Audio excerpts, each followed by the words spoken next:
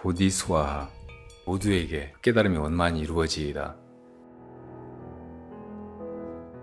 보디스와하 첫 새벽의 별을 보고 새 아침에 꽃을 들라 무량 허공 중심의 블랙홀 웜홀에서 빛도 없이 반짝이는 그대의 외눈동자 무수의 별들 가운데 하필 이 별에 핀 하필 이 연꽃 한 송이 들어올리는 하필 그대의 손이여 바야흐로 그 소나기에 갇히고 또 펼쳐지는 그대의 시간이요 올해 여러분들께 부처님께서 어, 주신 세뱃돈 봉투에는 견성 염화라고 썼습니다. 별을 보고 꽃을 들어라 이런 말이에요. 자, 다꽃 한번 들어보세요. 그렇게 하는 그놈을 돌이켜 살피면 돼요. 그놈을 자각하면 돼요. 그걸 깨닫는 순간 자타일시 성불도 하는 거예요. 나와 이 세상의 모든 중생들이 함께 성불하는 것이고 지금 법당 밖에 송이송이 내려 쌓이는 눈송이 하나하나가 다 성불하는 것이고 그 눈을 막고 서 있는 나무와 풀들이 다 성불하는 것이고 산하 대지가 함께 어, 부처의 참몸이 법신이 되는 것입니다.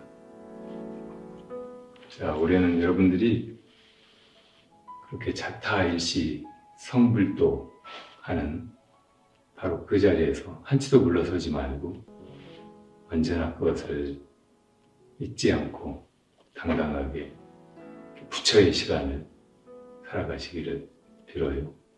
가서 그러면 떡국 맛있게 드시고 음, 새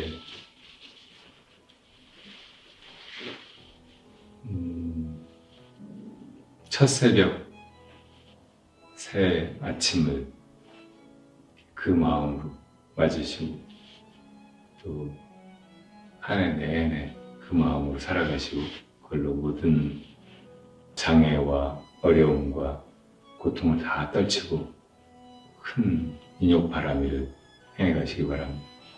그 마음이면 그 어떤 것도 여러분을 어, 털끝 하나 건드릴 수 없고 여러분을 금강의 몸처럼 지켜주고 또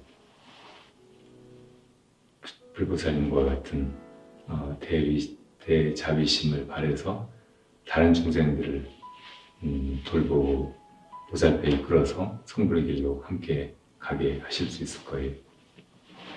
자, 출발하십시오.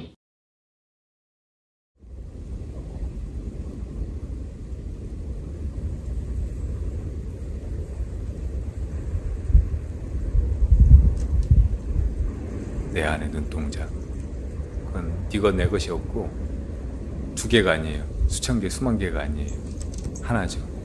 일심,